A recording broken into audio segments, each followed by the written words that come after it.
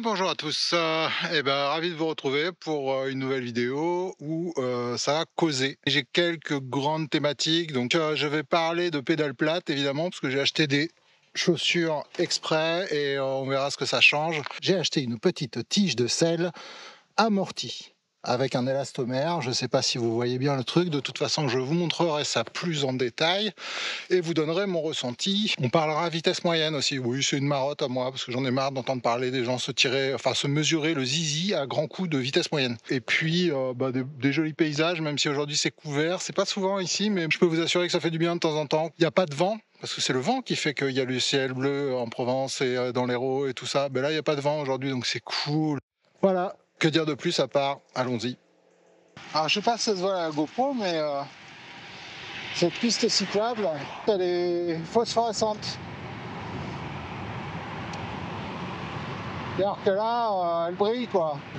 c'est vraiment une bonne idée quoi. Ça matérialise euh, super bien les deux voies. Je fais une petite pause ici là, rive de la Mosson, parce que déjà j'adore le spot. Je vais vous parler de ça. Un amortisseur de tige de sel, je ne sais pas exactement comment appeler ça. Donc vous voyez, il y a un élastomère là, carré. Puis, euh, j'ai pas beaucoup de bras de levier là, mais euh, vous voyez, quand, euh, quand on prend des chocs, eh bien, ça vient amortir la selle. Et donc, votre océan et donc vos lombaires et potentiellement même vos cervicales, parce que suivant la position que vous adoptez, ça peut remonter jusqu'ici les vibrations. Donc voilà, je teste ça, j'ai acheté ça, c'est vraiment pas cher. Enfin, c'est pas cher. ne jamais dire ça pour un accessoire de vélo, mais c'est 90 balles. La tige de sel avec tout le merdier et tout, donc c'est, moi je trouve ça plutôt, plutôt pas cher. Et pour l'instant, c'est plutôt convaincant, plutôt efficace. Ça fait un peu comme si vous aviez un pneu euh, dégonflé à l'arrière. C'est une sensation de, d'amorti, ouais, de filtration. Euh, tout ce qui est petit chaos, petit caillou, petit, euh, petite racine, petite chose sympathique qui, euh, bat à la longue, en fait, euh, fatigue vachement. Ça grimpe, ça grimpe, ça grimpe. Ah bah oui, c'est pour ça. Ça grimpe et ça redescend. C'est joli.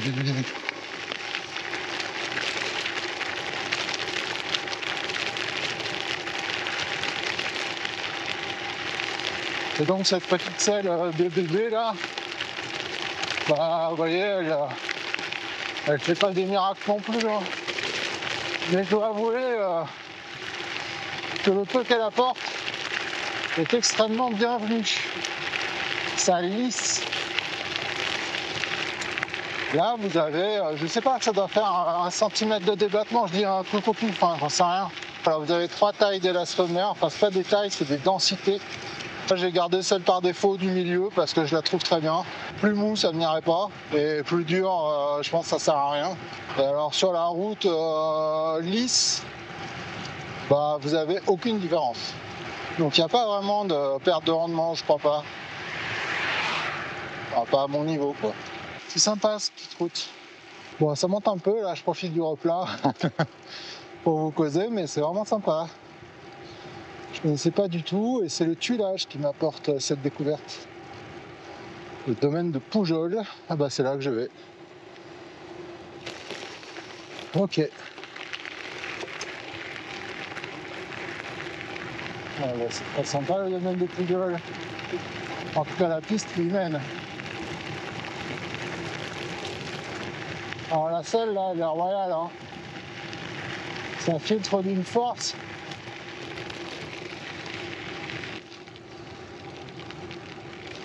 Voilà, petite photo. c'est pour ça que j'ai pas de moyenne. Je parle de moyenne. Je vais vous montrer un truc. Voilà. Là, si vous scrutez, il y a un élément euh, que tout le monde a sur ses sorties, que moi j'ai viré, c'est la vitesse moyenne parce que je vois beaucoup de gens en fait euh, se focaliser là-dessus comme une indication de leur performance, de leur état physique, de leur fraîcheur, de leur euh, capacité. Et en fait, euh, la vitesse moyenne, ça dépend du dénivelé, de la météo, du revêtement. Enfin, je, je vous la refais pas, je vous le dis à chaque fois et tout. Même si on n'a pas envie de se focaliser dessus, c'est instinctif. Je crois que c'est chez l'homme en fait on peut pas s'empêcher d'aller y regarder. quand on voit qu'on est en dessous de ce qu'on espérait faire ou de ce qu'on croit que les autres espéraient qu'on fasse, c'est absolument n'importe quoi. À partir du moment où on commence à se comparer dans un loisir, eh ben, ça devient plus un loisir, ça devient une compétition. S'il y avait une petite bonne résolution que j'avais à vous donner pour la nouvelle année qui nous attend, n'hésitez pas à, virer l'élément euh, vitesse moyenne de votre GPS, de votre montre, de vos profils Strava. Enfin, je crois que c'est pas possible parce que Strava, ils savent. Strava, c'est très bien que les gens aiment se tirer la bourre et donc ils disent qu'on peut enlever la vitesse, mais en fait, ils la laissent quand même comme ça. Ils sont sûrs que les gens peuvent quand même se comparer. Essayez de bien comprendre que ça ne représente rien. Euh, sachez qu'il existe des outils en ligne que je ne nommerai pas qui permettent de trafiquer vos GPX une fois que les sorties sont faites pour accélérer la vitesse moyenne. Je vous ai rien dit, ça sort pas d'ici. Si ça sort d'internet, saurais que c'est vous. Hein. Je, je, dis pas que beaucoup s'en servent, je dis juste qu'en fait, euh, arrêtez avec ça vitesse moyenne, euh, faites des photos, appréciez les paysages, partagez l'amour du gravel ou du vélo ou des sorties en pleine nature, de la randonnée, de whatever. Mais, mais arrêtez avec les vitesses moyennes. C'est vraiment un élément que je trouve un peu moisi du cul, pour rester extrêmement poli. C'est bien charmant ici. Roulez doucement, dit le panneau. Ah bah, s'ils si, ne savent pas à qui ils parlent là, ça, n'y a pas de problème.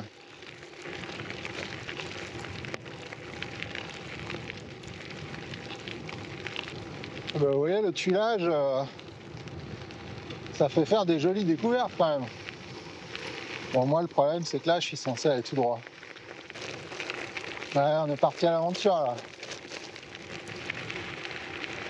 J'ai un peu laissé faire comme sur certains, certains passages. Bon, bah, eh, le fait de me casser une jambe.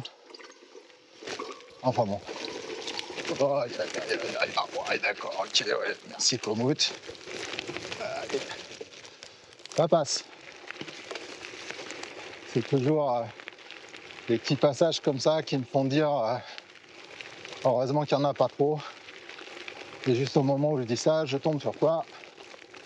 Un pierrier Bon, j'espère qu'il ne va pas durer longtemps.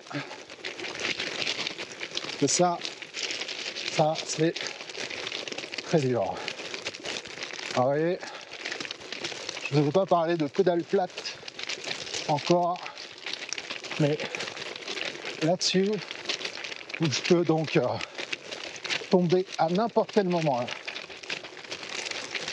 En pédale plate, je me rattrape sans problème c'est ultra sécurisant. Ça détend complètement sur tous les passages engagés. J'ai finalement craqué, je me suis acheté une paire de pompes Giro, Tracker je crois. Ah, je suis pas sûr, je vous mettrai le truc. Elles sont absolument géniales. Là, je vais vous incruster des petites images que je vais faire en parallèle tard, histoire d'illustrer le principe. Ce sont des, des chaussures à semelle plate de façon à ce que les picots des pédales plates puissent se caler et ne pas bouger horizontalement. C'est très important, ça vous empêche de glisser sur les pédales plates. Si vous avez le pied qui bouge horizontalement sur votre pédale plate, vous perdez une énergie incroyable. Ça accroche les picots de telle manière à ce que vous êtes vraiment calé horizontalement sur votre pédale. Et j'insiste sur le mot calé parce que vous constaterez que ça ressemble beaucoup au mot cal et qu'en fait, euh, tout le merdier SPD, euh, Crank Brother, Look, ça vous assure un seul truc, c'est de pouvoir tirer sur les pédales. Typiquement dans les fortes montées, les pentes type euh, au-delà de, 15% et les sprints. Moi, en fait, je sprinte pas, je fais pas la course, et en plus, je vous ai dit que j'avais enlevé la vitesse moyenne vous imaginez là, si, euh, si je regarde ma moyenne, ah, ça frotte. J'aime pas quand ça frotte. Euh. Allez.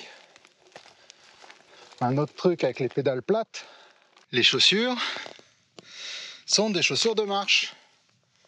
Aucun problème pour marcher euh, avec des chaussures comme ça. Les chaussures à cale qui font clonk clonk à défoncer le métal dès qu'on marche sur un caillou un peu pointu, ça c'est fini. Et le truc que j'ai réalisé avec ces histoires de pédales plates, mais comme avec plein d'autres choses, c'est que quand on commence, Euh, on essaye euh, on essaye de s'intégrer dans un milieu qui possède une culture, des usages, et on prend pour argent comptant des trucs du style pédale automatique.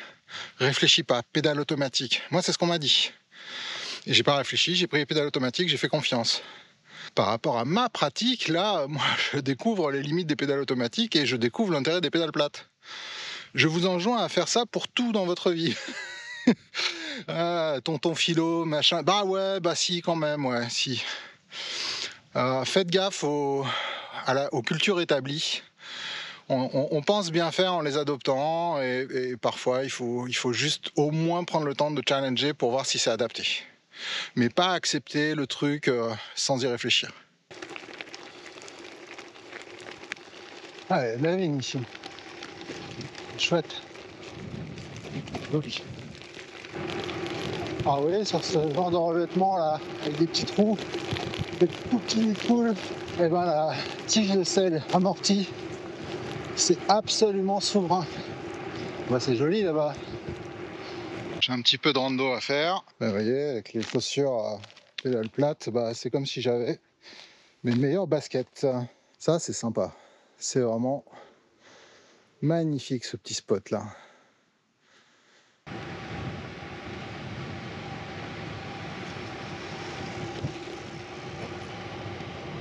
Bonjour. Ah, je dis ça pour pas qu'il me tire dessus surtout. Hein. L'auberge de Saugras. Parce que c'est Saugras là-bas. Oh, les ronces. Ah.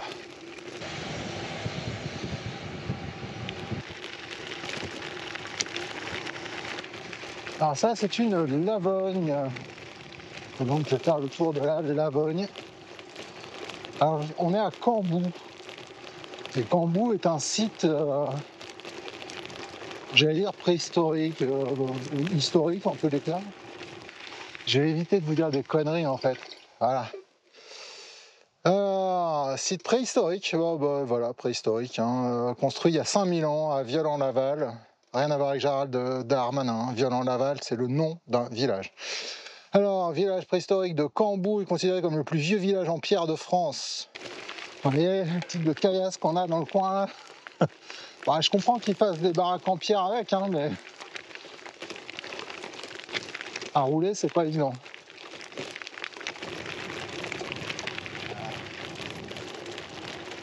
Ah, c'est sympa ces petits, ces petits chemins là. Vraiment mignon comme tout. Juste, euh, faut être un peu équipé pour la caillasse, quoi. Venez pas en 28 mm ici. Pas mal là, hein. Ouais, il fait pas très beau, mais euh, on a tellement chaud l'été et on va rejoindre du départemental qui va nous ramener jusqu'à l'Ortus, en théorie. Tiens, bon la euh, c'est vraiment pas mon truc. Je me suis dérouté. Là, normalement, je prends euh, du gravel juste à Saint-Martin de Londres. Alors, je suis allé un petit peu à l'arrache, hein, euh, ça donne ça. Si c'est si ça, en fait, ça va. C'est tellement mieux que la départementale.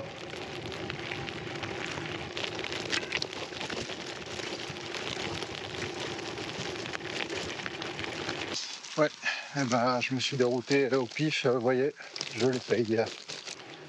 Oh, c'est joli comme tout ici.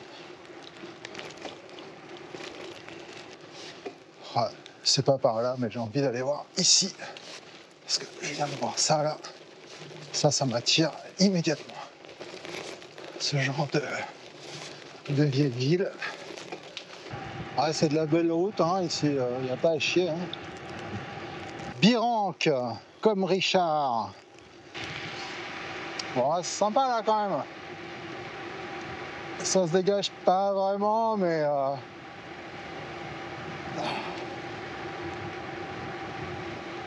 ça permet d'admirer un petit peu quand même euh, le relief quoi.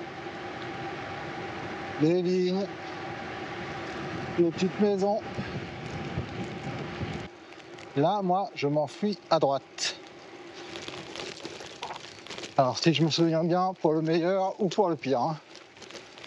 Parce que je suis vraiment pas sûr de mon coup. Alors, dans quoi je m'embarque? D'accord.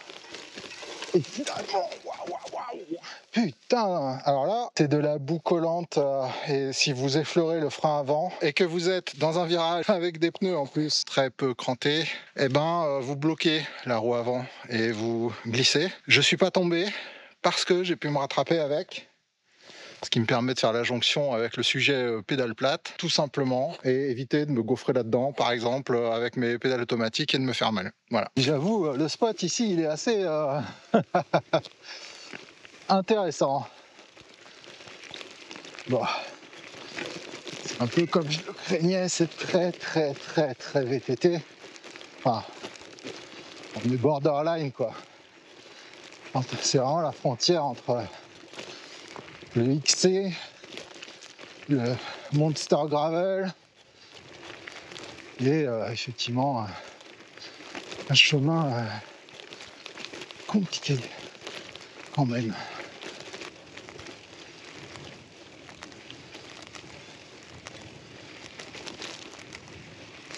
C'est assez magique, hein. Je sais pas du tout ce que ça rend à la GoPro, mais à l'œil nu, c'est vraiment, vraiment sympathique. Petit point euh, roue. Voilà. Donc là, on est vraiment euh, sur du compact, euh, compact quoi. hein. J'ai enfin des pneus slick. Je voulais tester les pneus slick, pour pouvoir, pouvoir, tester le rendement que ça apporte.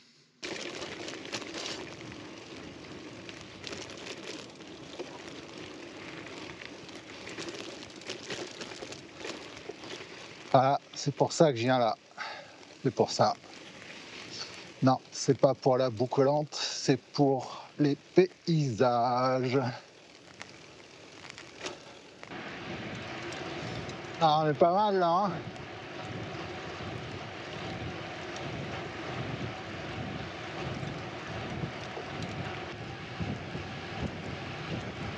J'en profite pour faire un petit plan, euh, un petit plan euh, face caméra parce que j'ai énormément d'ego. Euh, non, c'est pas ça, c'est parce que du coup, je vous ai pas montré le l'ortus trop. Et là, on le voit bien en fait. Voilà, l'ortus. Allez, on a fait pas mal de route là. On va faire bien de faire un petit peu de chemin.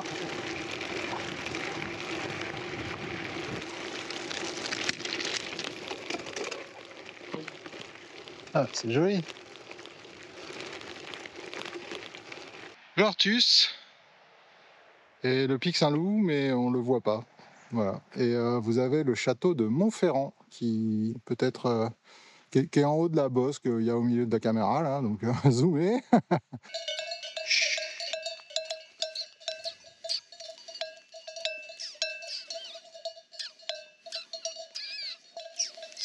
gentil, gentil, tout gentil. Celui qui avait des cornes m'a inquiété un moment.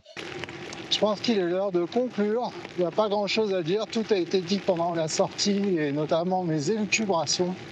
Je vais vous laisser sur ces images de pistes euh, de gravel de rêve. C'est beau, c'est plat, c'est roulant. Ça vous permet de maximiser votre vitesse moyenne, ce qui est très important. Non, je déconne. Ou sinon, c'est que vous n'avez rien écouté en fait. Euh, ça sera sans doute euh, la dernière vidéo avant la nouvelle année, donc bonne année. Bonjour monsieur, bonne année. Vous avez l'air dans la peine. La bonne année, surtout la santé. Prenez soin de vous, prenez soin de vos proches, profitez-en. Et euh, faites du vélo.